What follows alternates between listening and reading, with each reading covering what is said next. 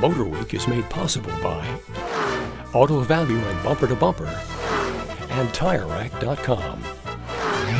In the 80s, sedans from Europe have become more popular than ever. That's why Ford started importing their German-made XR4 Ti. To do that, they created a whole new division named Merkur. Despite the public's ravenous appetite for cars from Europe, though, the Merkur XR4 Ti hasn't sold very well. But Ford isn't about to give up yet. They're just introducing another Merkur model, a five-door, five-passenger sedan, and it's called the Scorpio. It's bigger than the XR4 Ti and more expensive.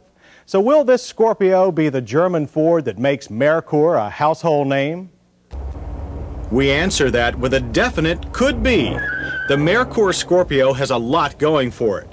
Introduced in Europe last year, it was car of the year there.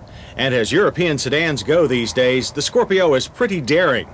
The Scorpio's upswept rear end and semi-disguised rear hatch separate it from any German luxury sedan sold in America.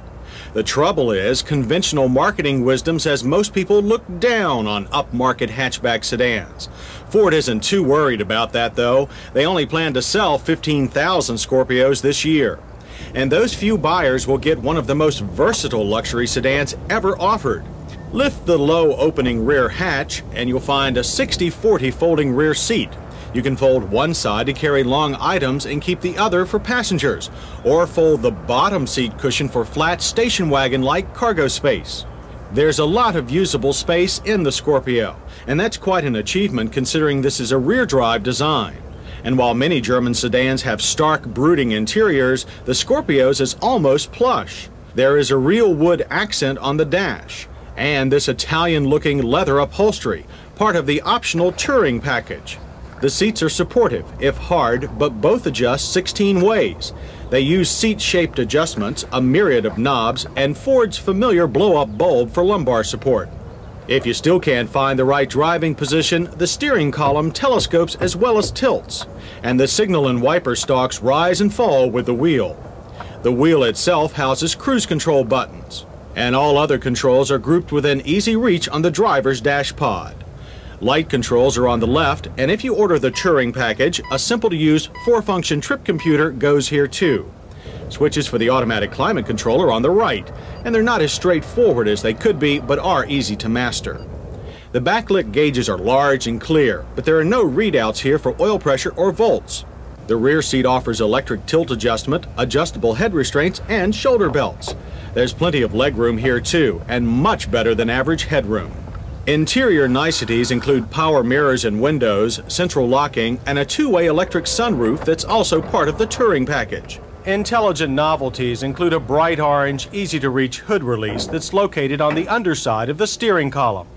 There's also a rear wiper that starts automatically if the front wipers are going and the car is put in reverse, and a very difficult to duplicate ignition and door key, as well as an outside rear hatch release that locks when the engine is running to foil cargo theft attempts and traffic jams, and a pair of inside hatch closing grab handles.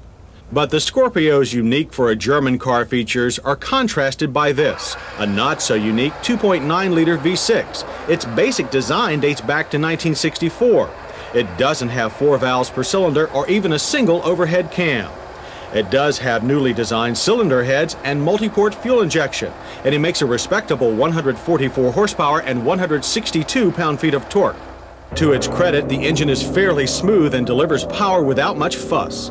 It pushed our Scorpio through the quarter mile in a respectable 17.7 seconds at 81 miles per hour. The Scorpio can be had with either a 5-speed manual or this optional 4-speed automatic. Ford figures most drivers will opt for the latter, although its maze of safety shift notches is tiresome. Our car had the automatic and still made it from 0 to 60 in a quick 10.2 seconds. And the Scorpio stops even better than it goes. Like most cars in its class, the Scorpio has anti-lock brakes. They make it possible to retain steering control under full brake pressure. Brake pedal feel and control was excellent in our car. Its average in six stops was a short 108 feet. And just about all of the Scorpio's controls feel good. Its rack and pinion steering has a variable ratio. It's fairly slow for good stability at high speed, and fast for deeper cuts of the steering wheel.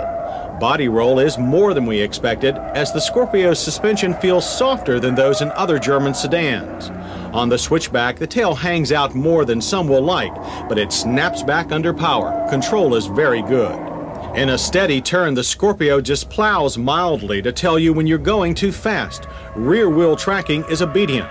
And the Scorpio also rides better than many German sedans, but it still retains that solid but isolated feel. It's also fairly quiet, generating only 67 decibels at 55. The EPA rates the Merkur Scorpio at 17 city, 23 highway. We managed a figure of 20 in normal driving. As for more important figures, the Scorpio will set you back $23,200. Add the touring package and the damages come to $26,500. That's comparable to some Audi 5000s and thousands less than many other better known German sedans. To make the Scorpio even more tempting, Ford guarantees that a two to four year old Scorpio will retain the same percentage of its resale value as a Mercedes Benz 190. So value tops our list of hits, followed by interior luxury, utility, and well thought out novelties. We also are impressed with the Scorpio's track performance and its highway ride quality. On the miss side, we regret the Scorpio's lack of instrumentation and its awkward climate control switches. And while we're at it, the automatic safety latch shifter is awkward to use too. Speaking of safety, the Scorpio passes with halogen headlamps, radial tires, 5 mile per hour bumpers, and rear seat shoulder belts. It only fails to have front passive restraints. From a marketing point of view, the name Merkur has been a Ford faux pas from the beginning. Some speculate it's the reason for the XR4 Ti slow sales. But the Scorpio, with an outstanding combination of features that aren't available on any other German made car, should be a marketing success, despite having a first name that most car salesmen still can't pronounce.